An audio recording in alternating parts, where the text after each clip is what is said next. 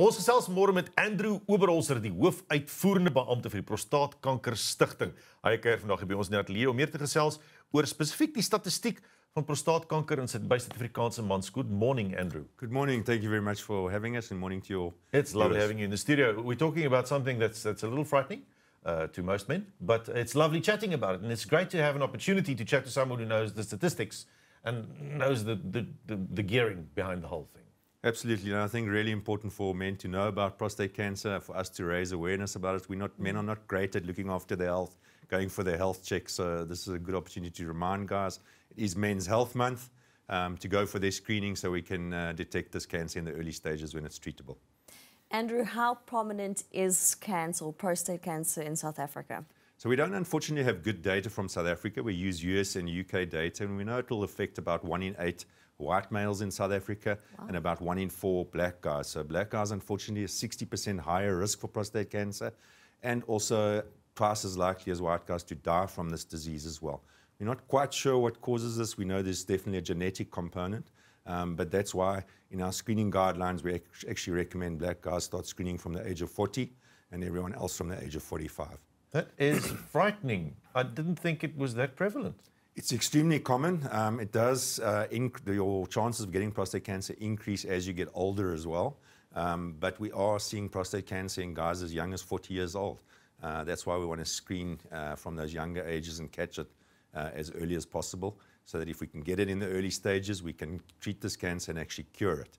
Um, if it's spread, unfortunately, we call that metastatic prostate cancer. At that point, we can't cure the cancer. We can only slow the progression of the disease. And that's why really early, early detection is so important. Oh. If you go one in eight and one in four males, specifically now in South Africa, do we look at the same kind of numbers throughout the world? those are the same um, statistics in the UK uh, and the US. So guys from black African descent, even in those countries, also have the, the 60% higher risk, unfortunately. Wow. You spoke about some genetic risks, uh, so obviously uh, genetic uh, disposition, but, but what are the other risk factors uh, for prostate cancer? Is there a definite list that we can look at and say, watch out for this and this and that? Absolutely. So, unfortunately, we don't know what causes prostate cancer, but we know that the risk factors are, first of all, age. So, most prostate cancers will occur after the age of 65, but as I say, you do get it in younger guys. Uh, it kind of peaks at around between 70 and 74. Um, the second risk factor is a family history. So either breast cancer or prostate cancer in a first degree relative will increase your oh, chances quite considerably. So it's important to tell your doctor if you do have the, a family history of cancer because you're going to need to screen earlier as well. So also guys with a family history should start screening from the age of 40. Um, and then uh, the other risk factor, as I said, is race. So if black guys are, have a much higher risk, so they also not need to start screening from 40. So if, if I had anyone in my family with any type of cancer, does that also include me in, in, in, a, in a higher risk factor? Generally does, because cancer kind of, there are certain genes that it affects. So definitely. The only modifiable risk factor, interestingly, for, for prostate cancer is the number of ejaculations that a man has every month. So more than 21 a month actually reduces your risks by about 20% and we're not sure what the reason is. We think it's because of a, a toxic buildup in the prostate, and the ejaculations actually um, release those toxins. So I know it's a family show, but we need to we, we, we, do need to talk about the realities. And, and really, we've looked at diet and all sorts of other factors. There is some evidence, but it's not strong. So we always encourage guys to eat a, a, a diet that's not high in saturated fats. Um, and to stay healthy, don't smoke and exercise. But that's really the only one we have good evidence for. So um, quite an easy uh, behave, behavior. We don't asking you to exercise more.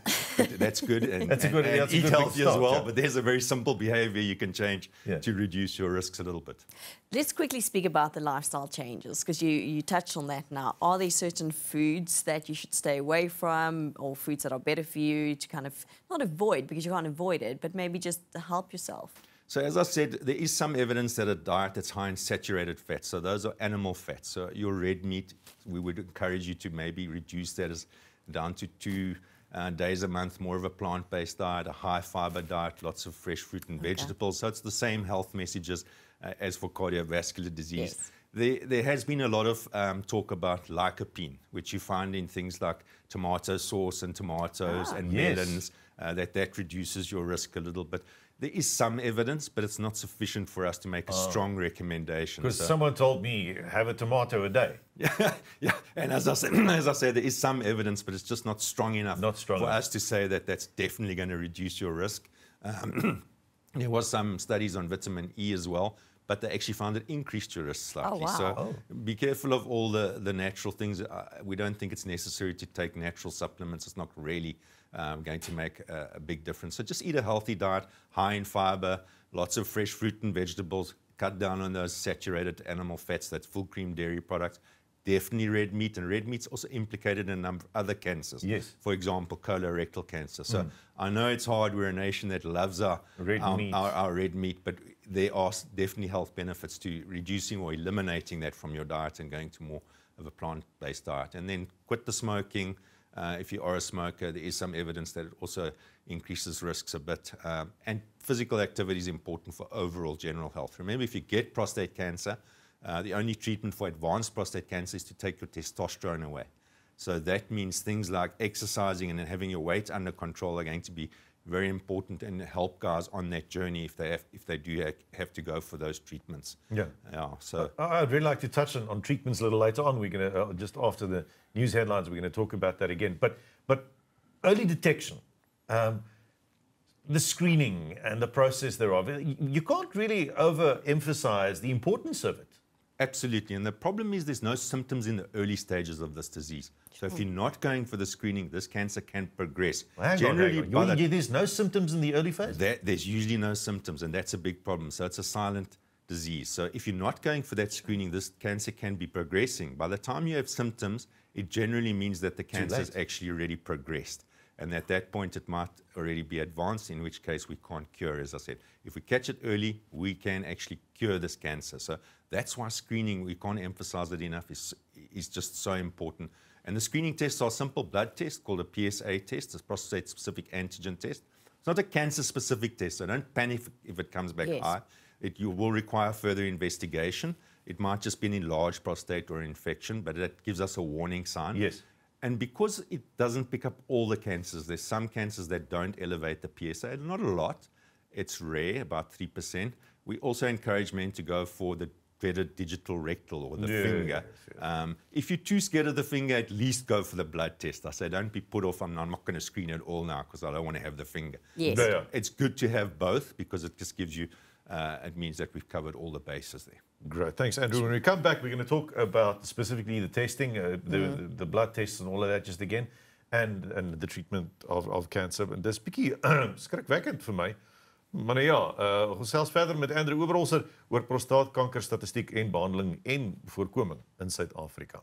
Welkom terug. Ons gesels met Andrew Oberholzer, die uitvoerende hoof van die uh, hoofbeampte van die Prostaatkanker Stichting.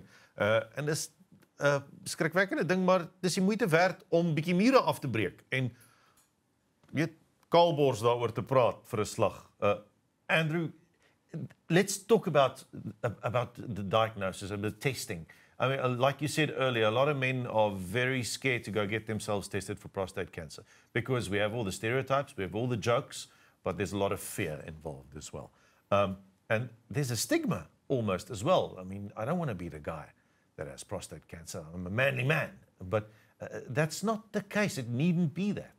Absolutely, and I think it's a very simple blood test, the PSA test. Uh, if that test comes back high, don't panic. As I said, it doesn't necessarily mean you have prostate cancer. You, if it does come back high, you'll generally be referred to a urologist. That's our kind of men's health Yes. doctor. Um, they specialize in the male reproductive system. And they can do a scan. They'll do, yeah, generally, and it's great. The technology has really improved dramatically. So now we have the opportunity to do a multiparametric MRI, and that will give them an idea of suspicious areas in the prostate. And then the next step will be a prostate biopsy, and that's the, the what they use to diagnose um, prostate cancer, where they actually go in, take some of the cells out, examine them under a microscope, and they can see if they're cancerous or not. And you'll be given a Gleason score, which gives us an idea of how aggressive that cancer is. And that will then enable the doctors to do planning and staging of the cancer, tumor size, etc. If it's caught in the early stages, uh, in many cases, this cancer is never going to be a problem. Yes. We call that an indolent cancer, and we'll just keep an eye on it. That's called active surveillance. Yeah. That means you don't have to put yourself uh, at risk for the side effects of treatment. Um, some men will opt for treatment, and the treatment options really are either radiation, uh, where we can put radioactive seeds into the prostate to destroy the cancer cells. We call that brachytherapy, Yeah. or external beam radiation, which is completely non-invasive. You lie under a big machine and they blast the prostate with high dose, dose X-rays. And then the other option is obviously surgery, where they surgically remove that prostate. And again, great to have new technology. They can now do that using uh, robots, which means the doctor has a magnified view of the prostate, so they can spare those very important nerves that give us our erections, as provided the cancer hasn't spread to the nerves. Uh, it also enables them to better reattach the urethra back there, to, so it, it reduces the, the chances of incontinence because erectile dysfunction and incontinence are, are, are kind of the biggest and Yes. most problematic side effects Yes, from yes. the surgery. Um, so there's, we're improving all the time.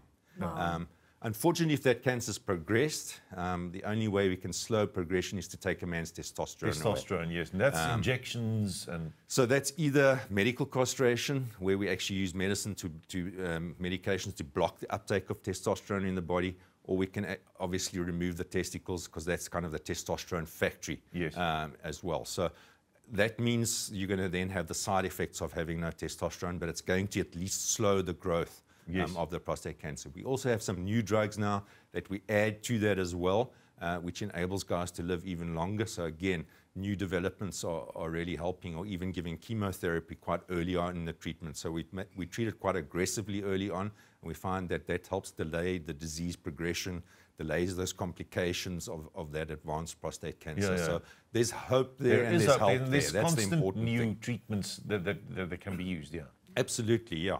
Um, and that means guys are living longer and they're not having as many complications uh, complications as before. I have to ask, sorry, Peter, how often do you have to get tested? So, and especially if you're someone that you've had a bit of a scare in the past. So, is it every six months? Is it yearly? How often do you then have to get checkups? So we recommend you do it annually with your other blood tests. So you should be checking after the age of 40 all your cardiovascular risk factors. When you're doing your cholesterol and your glucose checks, Do just that as make well. sure that they include the PSA there and monitor it annually. Don't just leave it for, for a long period. Yeah, and like you say, it's just a blood test. Do it Exactly. annually. Simple, yeah. Uh, and it's easy. Just go to your doctor. There's no big process. Just go there and say, listen, test me for it. Exactly. But now you also reach out to the public. You have these programs. There's a, the Daredevil Run, for instance. Tell us a little bit more about the Daredevil Run. I have a mate that has a red speedo. It's a lot of fun. So uh, that means especially if it's the red speedo, but we, it's a purple speedo, and they've done a number of different events, and it's a great way. Um, Hollard sponsored this event, and we're a beneficiary of- of it, so it helps us raise awareness. It, making men's health fun is important because guys are more likely to get involved. We're running a speedo just to create awareness about prostate and But, testicular but, cancer. but, but you're running where no one can see you. Oh no, we want to be seen. We want to be out there so people talk about it. Uh, and that's the thing with men's health. We don't have to be embarrassed. Uh, our, our sexual health is part of our overall health. The prostate's part one of our internal sex organs, and it just opens the conversation up Yes. about testicular and prostate cancer, but in a fun way. Mm. So we really appreciate guys. Put on that speedo. Everybody's got them on, so you'll be feeling out if you're the guy that comes along fully clothed. We want you to be in your speedo. Speedo and Get out there. Speedo and tackies, it's just 5Ks. You don't have to run it. You can walk it. It's all over the country now because we went virtual with COVID. So you can participate wherever you are, get a group of mates together, have a bit of fun. It'll be taking place in September again. We also do a campaign called Suit Up in September as well. So you put your clothes back on there and you put a suit on, which is quite rare these days, and, and, and you suit up for one day in September, whether you're bowling or, or, or you're doing your Oh, sport or you're in a corporate as well. So we've got the, the Daredevil where you put your speedo speedo on, and then we've got the suit up September option as well. So it's there's something for everybody. But it's just great to have guys uh, open up about these subjects. We- Yes. We, tend to be embarrassed and we don't want to talk about it. And also supporting other guys who have been diagnosed because you're never cancer. alone. Exactly. Yeah, we're in this together. And, and we, and we said this is a common cancer that affects so many men. So let's just talk about it, raise the awareness, and let's go for the checkups. Uh, and and if I want to partake in one of these runs, uh, what do I do? Do I go to a website somewhere? Do I register? What do I do? Absolutely. So you just uh, put Daredevil in, and, and it'll be all over social media. There's a website, there's a Facebook page. It'll tell you how to register for the event. So when you're in around October, start looking out for, for um, oh, sorry, it's September. September. Start looking out for, for information about the Daredevil. And as I say, it'll be virtual again, so you can do it anywhere in the country. Uh, I think the most important thing is um, that you're not the only one. If you start worrying about your health, uh, specifically about prostate cancer, be aware that you're not the only guy. There is hope. There are an option of there's a, a, a couple of options for treatment, and and just just start actively working for your own health. Absolutely. We always say don't wait till it's too late, take the test. As simple as that. If we, if we catch it early, we can cure it. That's really nicely said. And I think also what's important is start having the conversations, encouraging other people to, and just creating awareness. And thank you so much for that today. Thank you very much for the opportunity. We really appreciate it. And it's great to have someone here that, uh, saying the things that some people won't say on Breakfast TV, but the reality of it. Thank you, Andrew. Thank you. Nou ja, Andrew Oberholzer, die hoofuitvoerende beampte van die Prostaatkanker Stichting.